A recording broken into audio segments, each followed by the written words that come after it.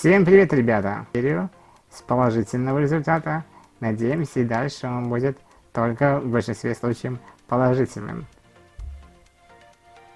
Турнира в Страсбурге.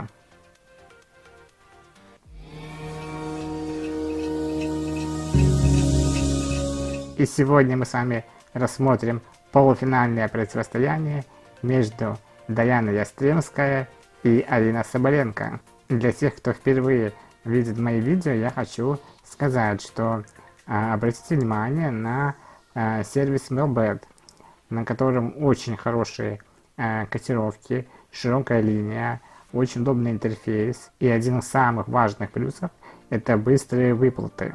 А для новичков – там подготовлены очень приятные бонусы в виде фрибетов или бонуса к депозиту на ваш выбор. Поэтому переходите по ссылочке в описании к этому видео и регистрируйтесь. Ну а теперь к самому матчу.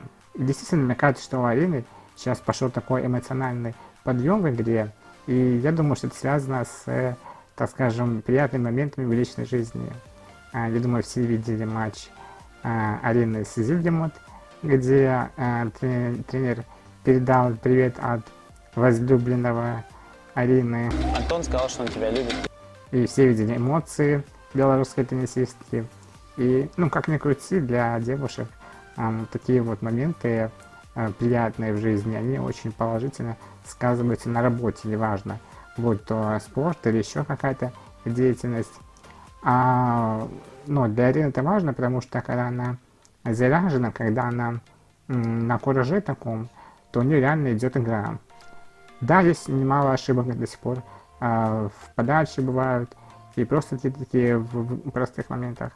Но все же видно, что есть большое желание вот это вот полностью убрать э, черную полосу, которая была у нее, и не исключая того, что здесь она, в принципе, уже имеет хороший шанс на то, чтобы взять титул. Хотя полуфинал будет точно непростой. А Ястремская, во-первых, моложе.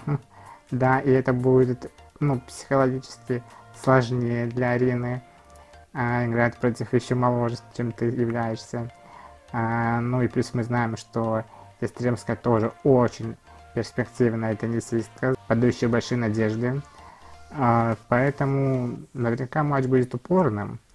Хотя мы понимаем, что обе девушки в целом эмоциональные, поэтому может что угодно случиться после проигрыша сета одной из них.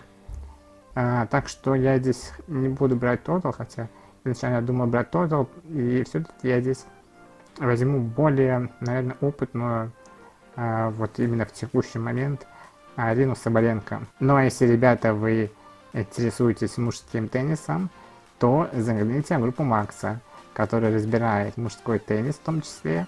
А, и там вы найдете очень много чего интересного. Ссылочка на него будет в описании к данному видео. А у меня это все, ребят, на сегодня. Буквально уже совсем скоро нас стартует Ролан Гарос. Но пока мы с вами будем досматривать Страсбург и надеяться, что он принесет нам только положительные результаты. Всем удачи, ребята, и до встречи. Пока-пока.